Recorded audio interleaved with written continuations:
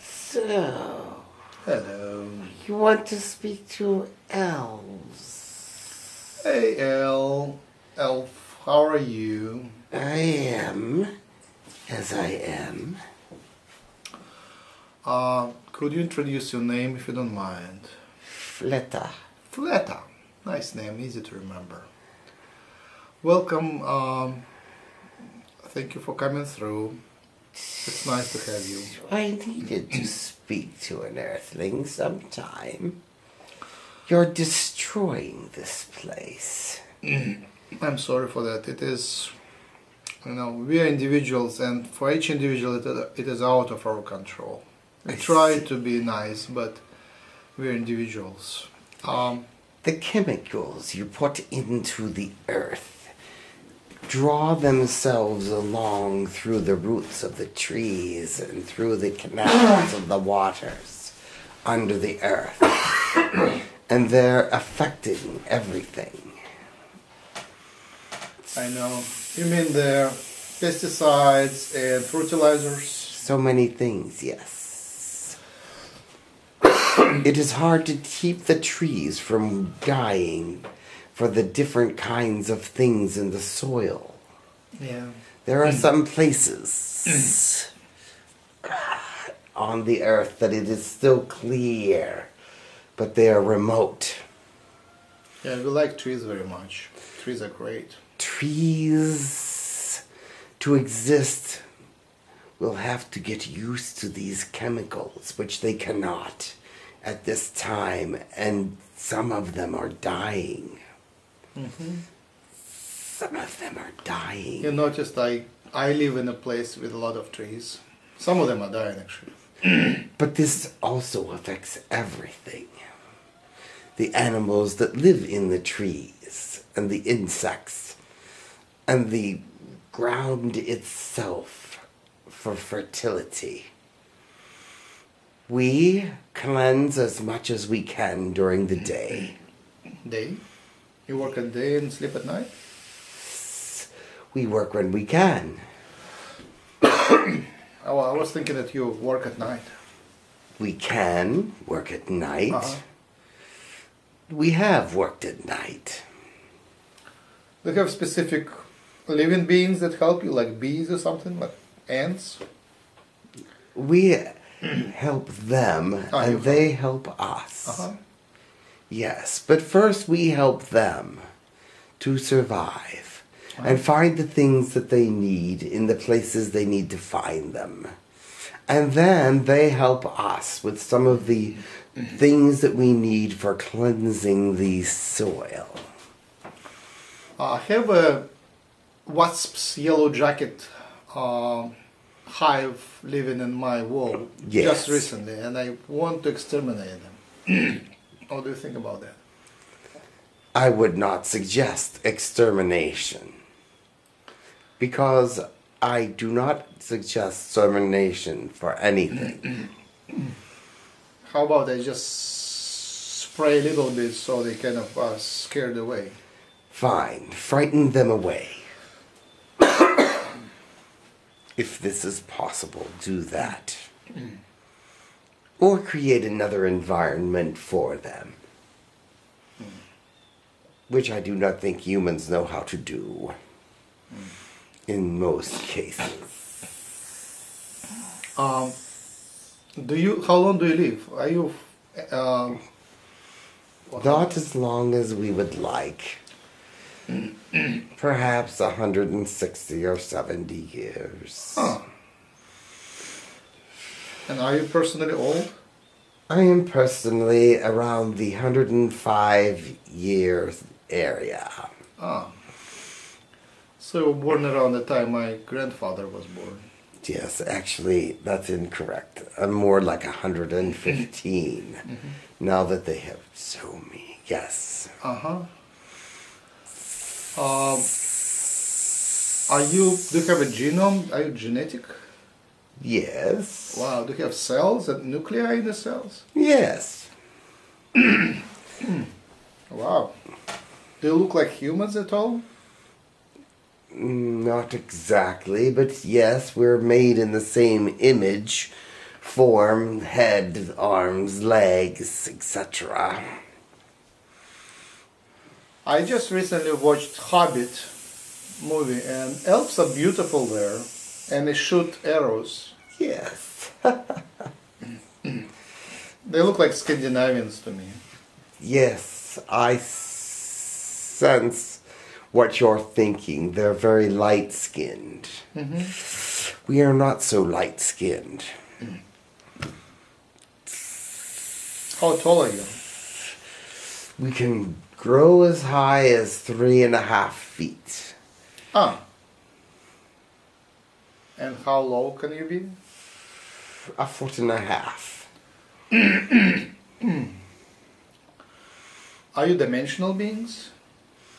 We do have connections to the dimensions, yes, but only for the purpose of helping nature and mankind.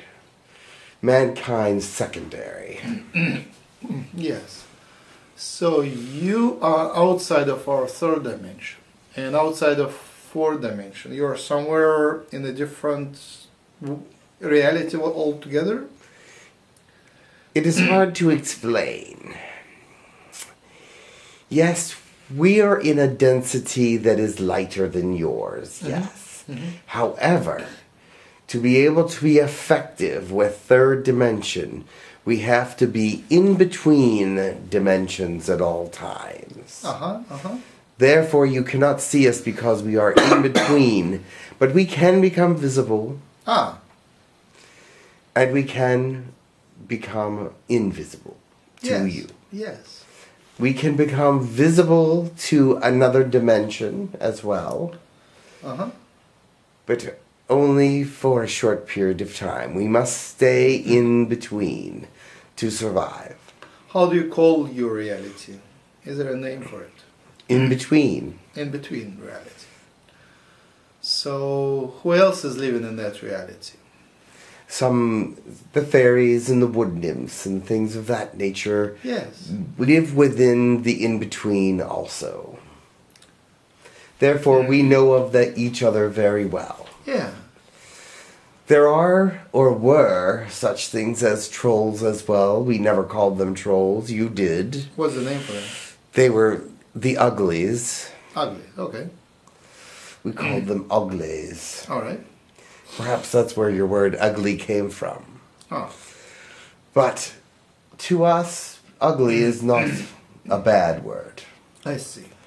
You would consider us all ugly, I'm sure, except Really? for perhaps the wood nymphs and the fairies. They are actually quite what you might call pretty, or pretty in the sense that they look like little butterflies or little flying insects or whatever. So elves wouldn't be pretty to us if we saw you? Not really. and there are the leprechauns, which are also in betweens. What do you eat? We we are energy feeders, permanent. Yeah. So what energy do you take? Whatever energy is available for consumption. Would third dimensional energy do? yes, of course. All energy is consumable in some way or another. We would not have to. Do you notice how the apples on your ground wither? Yes. We can take the energy from them and cause Ah. them to wither within minutes. Nice. So if we have lots of people who love, some love fairies, some love elves, they have a lot of Yes. connection. How could we give you energy? You couldn't, I don't think, unless we feed directly on your energy, and we do not do that to humans. Can we kind of make uh, feeders? Feeders. Like for we can do the feeders for animals. Can you do feeders for elves? I imagine if you have anything with energy in it, it could become a feeder. Like I have a compost that has a lot of rotten and things. Would it help elves to feed or It depends on how rotten it was. We don't like rotten. We like it when it's just on the ground and we can take the fresh energy out of it. Yes. Okay. So fresh fruits would help. Yes, that would be better. But you do. Are you limited in the fall? I don't think you're limited with fresh fruits on the ground. There's tons of them. no, there's fresh fruits everywhere. But in the winter, what would you eat in the winter? We stay in between. There's a dimension in between that we can live in that is energy laden. Oh, so it's not. You're not that hungry at all. Not really, but we do like an occasional Treat. yes. I see. Now, how do you multiply?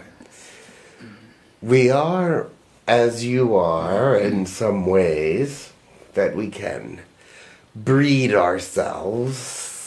Are you mammals? No.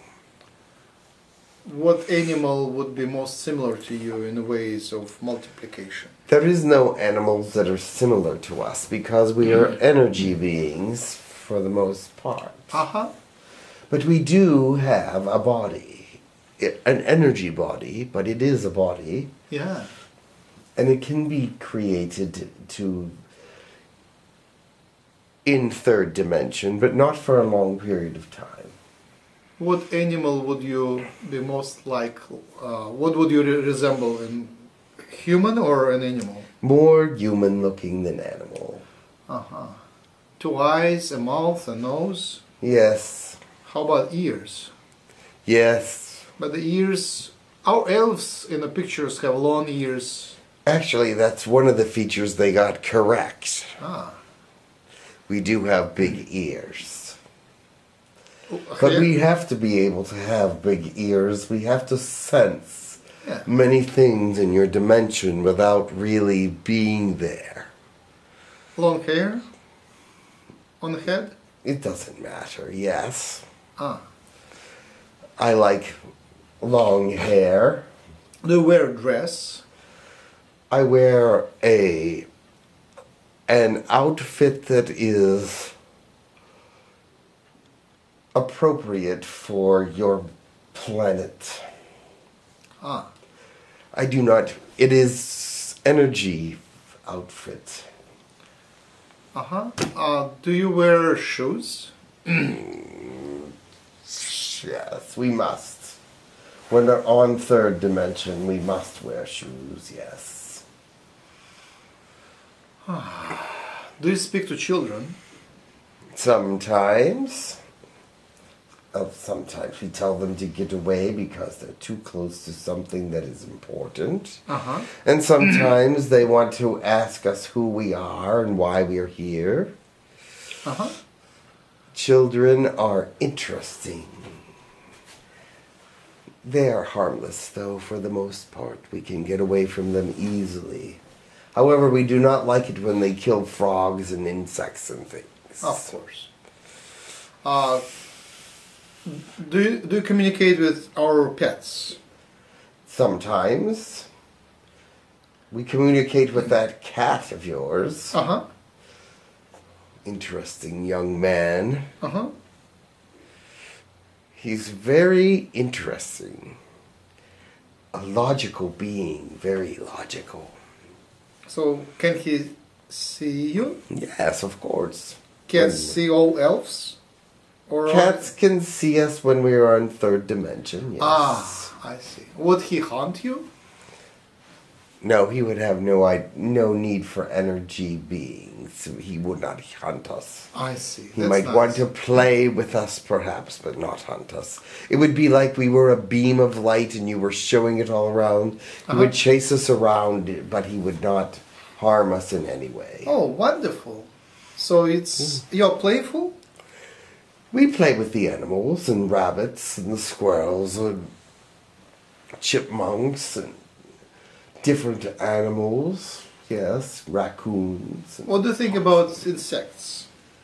we love insects. They do our bidding. Oh.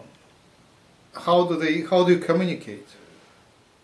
It's in an easy to do because we can just send the energy to them. And they understand energy, so that is Ah. all they need to understand is come where the energy is. Insects are so mysterious to us, especially like recently I watched that yellow jacket wasps, you know, they behave in a strange way. They are only be protecting themselves. Yeah, but you know, they're clearly in danger and they Yes. ignore it.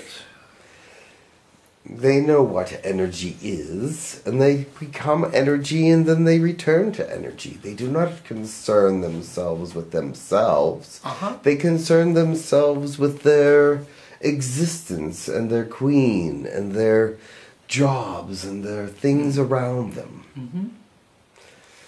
Sometimes we have uh, flies circling around in the center of the room and they certainly know where to go and where to be. Why do they do that? They follow the light. They follow light wherever it is. And therefore, that brings them to the places there they need to be, usually. Mm-hmm. They can be trapped behind glass many times. Mm-hmm. Mm-hmm. But they find the, the light. It's mm. the energy source that they look for. So most of our members on the side they don't really have a way to affect the global policies, but individually, what we can do individually to help. everything you can. I do not know what humans do for their to keep things good because we do not involve ourselves with you. We see what you do. We do not always understand it. However, you can I see that you recycle. That is one thing that can be good for your planet and ours. Um, tree hugging, is very nice. doing reiki to trees. That is nice. Do trees have individual minds, or you're dealing with the forest at once? The trees are individuals, yes. Trees are individuals. Hmm. All right. I just wanted to say one more thing and then I will go. Thank you for your visit, and come again, please. Please, please, be careful what you do with the earth. It is affecting us all and it's making us not want to be here. I'm and sorry. it is important for us to be here. But when we see certain things, it makes us want to leave. But we are commissioned to be here, and so we will stay. But be kind. Plant. I like it when you do plantings. Plantings are good. Mhm. Plantings are good. Plantings.